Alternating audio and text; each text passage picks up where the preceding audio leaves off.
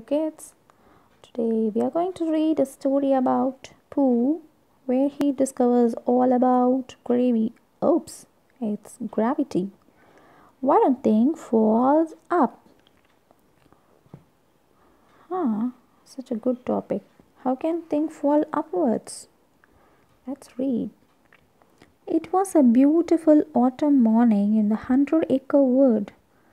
Brightly colored leaves danced on the trees as a crisp breeze sent them fluttering down, down, down. Pooh was still asleep when, plunk, he fell out of bed. Oh my, I was having a, such a sweet dream. But I guess it's time to get up and get dressed, he said. When Pooh stepped outside, he found his welcome mat missing. Someone has taken my mat and left a big pile of leaves instead, he said. He was looking for it when. Thunk, thunk, thunk. A shower of acorns fell from the tree and hit him on the head. Oh, bother, said Pooh. I think it's time for something sweet. Pooh climbed a honey tree and filled his pot with honey. Pooh loves honey. But as he began to climb down, his shirt got caught on a branch. Oops, said Pooh as he tried to tug his shirt free. He can do anything for a pot of honey. Oh no, he said as the honey pot fell to the ground. Honey pot, here I come, cried Pooh as he landing with, landed with a thump. Pooh looked up to see Piglet coming through the hundred acre wood. Oh dear, said Piglet. Are you all right, Pooh? Yes, said Pooh. But have you noticed that everything is falling down around here? Wouldn't it be nice if things could fall up for a change? Pooh decided he needed to think about this some more. So he and Piglet went to his thinking spot to try and figure out a way to fall up. If only things could fall up, I wouldn't fall out of bed. I wouldn't get hit on the head with acorns. I wouldn't fall out of trees, Pooh explained as they walked. When they got to Pooh's thinking spot, Pooh scratched his head and sang a little song. Down, down, down, down to the ground. Why do up things fall back down? That's a nice song. Pooh had an idea. He tried to stand on his head. Things looked strange upside down. When Pooh saw Christopher Robin, it looked like he was floating in the sky. What are you doing? asked Christopher Robin, looking down at Pooh I'm trying to fall up, said Pooh. Maybe if I'm upside down, I'll fall up instead of down. What a brilliant answer, is it? Oh, Pooh, you can't fall up, said Christopher Robin. Pooh leaned his head over his honey pot, opening his mouth wide. Now, what are you doing? asked Christopher Robin. I am trying to pour the honey up into my mouth, explained Pooh. You can't pour honey up for the same reason you can't fall up. Gravity, said Christopher Robin.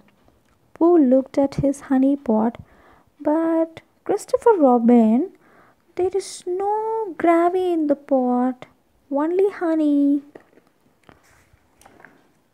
Not gravy, Gravity, said Christopher Robin. It's the force that keeps everything on the ground. If there was no gravity, things would be floating all around. Oh dear, said Pooh. The earth is like a giant magnet that pulls everything to it, Christopher Robin explained. Gravity is why whatever goes up comes down. Everything has to come down, Pooh, but not everything has to go up. Boing, boing, boing.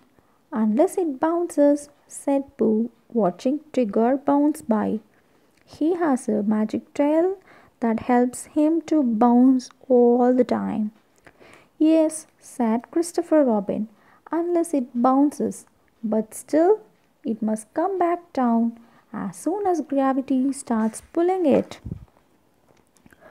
Pooh, Piglet, and Christopher Robin continued their walk while walking through the hundred acre wood. Pooh was so busy looking up at all the things that fall down. He tripped on a stick and fell down. When I fall down, it's not because I wasn't looking. It's because of gravity, right? asked Pooh. Mm, well, maybe it's a little of both, said Christopher Robin with a smile. Pooh had never really thought about why things fall down before, but once Christopher Robin explained it to him, he saw gravity at work everywhere. At the sandy pit he watched Roo practice jumping. Pooh, look at me, Roo said, exact, said excitedly. Up and down, up and down, up and down. It was making Pooh dizzy. But no matter how many times Roo went up, he always came back down.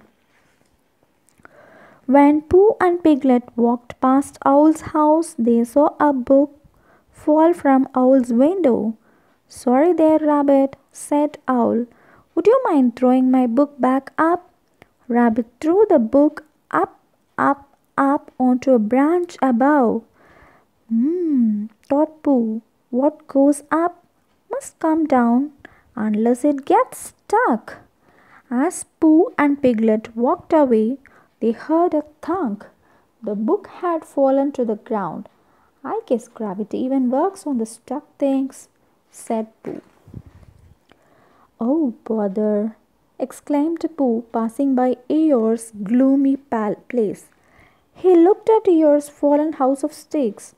Eeyore was trying to stack them up, but the sticks kept falling down.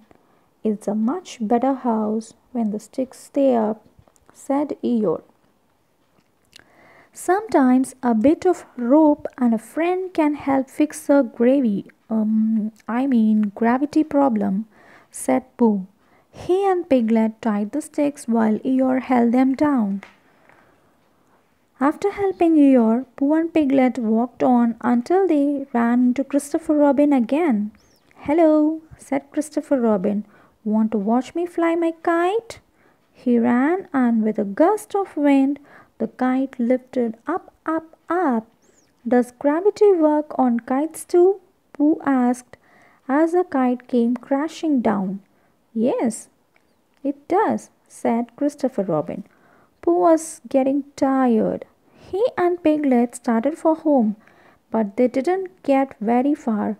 All this up and downing is enough to make a fluff and stuff like me sleepy, said Pooh as he sat down under his favorite tree and began to snore. Pooh was having a sweet dream when something very sticky dripped down on him. Drip, drip, drip. It was honey from the beehive above Pooh's head. At this very moment, Pooh was glad that things didn't fall up. Mmm, gravity sure tastes good, Pooh mumbled as he drifted back to sleep. Bears loves honey a lot, right? So does the Pooh. Hope you all enjoyed the story. See you next time with another wonderful story. Bye bye.